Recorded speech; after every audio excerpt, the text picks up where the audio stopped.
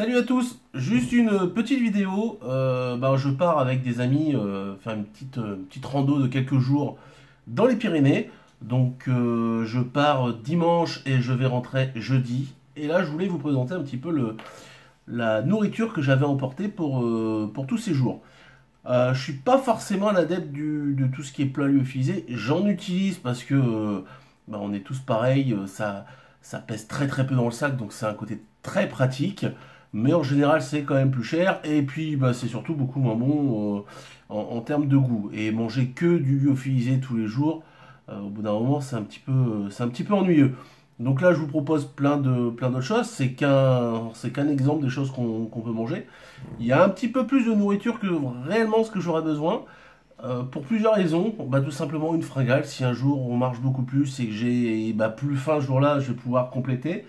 Et puis, bah, tout simplement, on ne sait jamais hein, si on tombe sur quelqu'un ou si quelqu'un du groupe a un problème ce jour-là et qu'il a une grosse fringale et qu'il n'a pas prévu assez ou autre, eh ben, on n'est pas obligé d'aller fouiller dans son sac pour prendre ses provisions. Je peux directement taper dans les miennes et ça évitera les problèmes. Donc, pour commencer, euh, les petits déjeuners, du café, hein, café soluble à faire euh, le matin. Et ensuite, j'ai un mélange de muesli avec du lait euh, en poudre à l'intérieur. Donc il y a 4 sachets là, parce qu'il y aura 4 matinées. Donc ça, c'est pour le petit-déj. En général, je mange pas grand-chose moi au petit déjeuner. Mais euh, bah, vu qu'on va marcher toute la journée et qu'on risque d'avoir un, petit peu de dénivelé et surtout pas forcément du bon temps, on va brûler les calories, donc il faut quand même avoir des forces. Les plats lyophilisés, j'ai pris un plat de chez, ça c'est le plat de chez Decathlon, hein, donc euh, les plats lyophilisés de chez Decat. Voilà, donc ça fait une portion. Donc un repas. Et ensuite, il y a, euh, je sais plus quelle marque, je crois que c'est Knorr qui fait des pâtes euh, lyophilisées aussi, euh, comme ça. Donc je les ai mis juste dans les sachets. J'ai mis deux portions parce que finalement, ça fait pas beaucoup. Une seule portion, ça fait quand même léger pour un repas, surtout pour, pour quelqu'un comme moi qui est quand même un grand mangeur. Vous avez pu le voir dans la vidéo. Donc voilà, deux portions de, pâtes déshydratées également.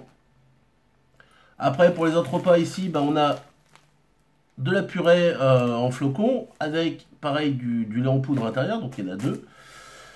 Euh, du comté pour la fragale, pour le soir, euh, ça peut être sympa. Pour aller donc avec la purée par exemple, on peut avoir du chorizo, du saucisson, quand j'ai deux types de saucissons qui sont là. Bah, en gros je compte une moitié par repas quasiment, hein. ça me fait un peu bah, des protéines et puis, et puis bah, c'est du gras donc des calories. Si c'est un peu fade, un peu de sauce, euh, sauce tomate avec des légumes. Qu'est-ce que j'ai Dans les autres plats, tous ces petits sachets que vous avez comme ça, là, donc du riz déjà fait. L'avantage, c'est que j'ai pas besoin de rajouter d'eau, juste une, petite cuillère ou deux dans, la gamelle, c'est largement suffisant, il n'y a quasiment pas besoin d'eau. Là, j'ai de, la purée de pois cassé. C'est pareil, euh, là, j'ai même pas besoin d'eau, j'ai juste à le faire cuire comme ça dans la, dans la popote, ça sera très bien du riz avec du soja, il y a du, du blé, du lentille, des lentilles et du riz. Donc voilà, c'est tous des, plats qui sont, qui sont juste à faire réchauffer. Ça pèse un peu plus lourd que le filisé, mais d'un autre côté, vous n'avez pas l'eau on est.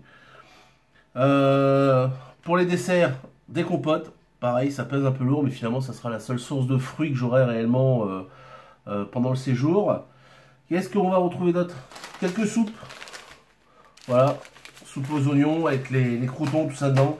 Euh, bah, soit pour se réchauffer un petit peu, soit euh, pour euh, si j'ai un petit creux ou on ne sait pas, me mélanger éventuellement avec, avec la purée, des choses comme ça pour donner du goût, ce serait, ça serait pas impossible.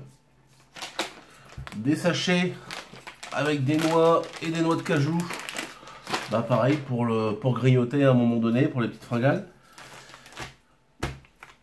Les tortillas, alors ça, euh, je teste ça. Alors j'ai l'habitude d'en manger, mais je teste ça euh, euh, sous l'avis de, Guillaume Alzaco, qui effectivement me disait que c'était des galettes qui se conservaient très longtemps. Donc l'avantage de pouvoir ouvrir le paquet. Si j'en mange qu'une dans la journée, le lendemain, tout le reste n'est pas perdu.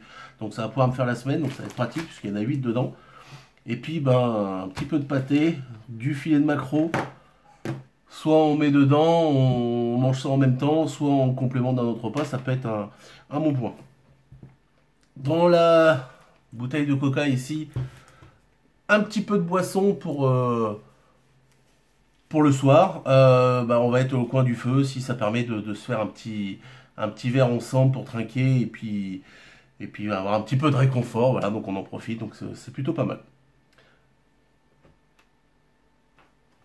Donc voilà, euh, voilà l'ensemble des choses que j'emmène donc pour quasiment 5 jours pleins.